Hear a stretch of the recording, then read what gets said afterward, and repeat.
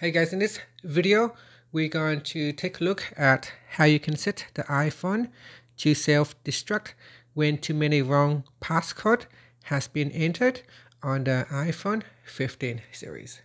First, let's go back to the home screen by swiping up at the bottom of the screen.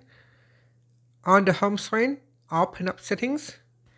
Then in the settings page, we scroll down and then tap on Face ID and passcode now in here, put in your current screen passcode and then scroll down to the bottom.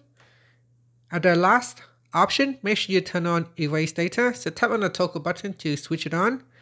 Now when you tap on that button, it says all data on this iPhone will be erased after 10 failed passcode attempts.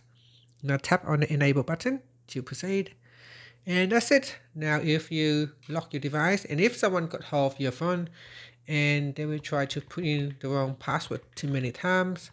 Then initially it will say you have to wait. So it will say you have to wait for a minute, then you have to wait for five minutes.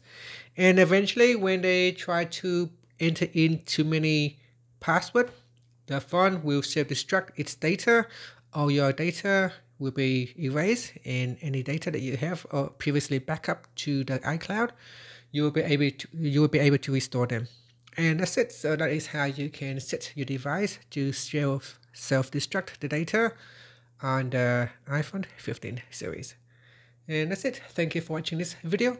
Please like and subscribe to my channel for more videos.